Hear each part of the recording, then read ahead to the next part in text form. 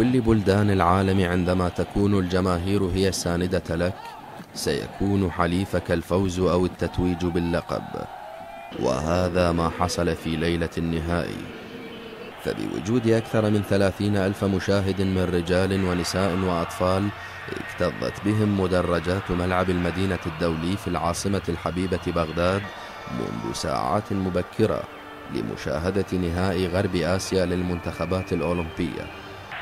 انطلقت صافرة لقاء الختام الذي جمع أسود الرافدين بضيفهم العنيد الإيراني. بداية حذرة لكلا المنتخبين سادت معظم أوقات الشوط الأول. قبل أن يخطف الفريق الضيف هدف الأسبقية وسط غفلة من الدفاعات العراقية. رافقه هدوء تام للجماهير الحاضرة في الملعب.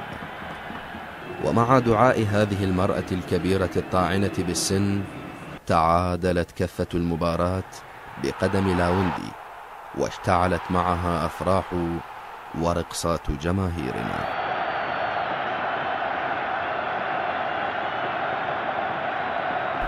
ومع انطلاق الشوط الثاني واصل أسودنا ضغطهم الهجومي المكثف عبر طلعات متواصلة كاد منها أن يحرز لاوندي هدف التقدم لكن محاولته ارتطمت بالقائم الأيسر الذي تعاطف مع الضيوف لتذهب المباراة إلى خوض ركلات الترجيح التي بدا فيها لاعبون وكأنهم في حصة تدريبية. فتارة نشاهد واحدا يسدد بثقة ويؤدي معها رقصات السامبا الشهيرة وآخر شامخا بشموخ العراق. حتى تعاطف القائم معنا معلنا ضياع الركلة الإيرانية لتأتي بعدها لحظة حبس الأنفاس الأخيرة. لحظة نجح بها أسودنا معلنين انطلاق الأفراح في جميع أنحاء البلاد مطلقين العنان لأنفسهم وهم يحتفلون مع جمهورهم الكبير على وقع أغنية عاش العراق.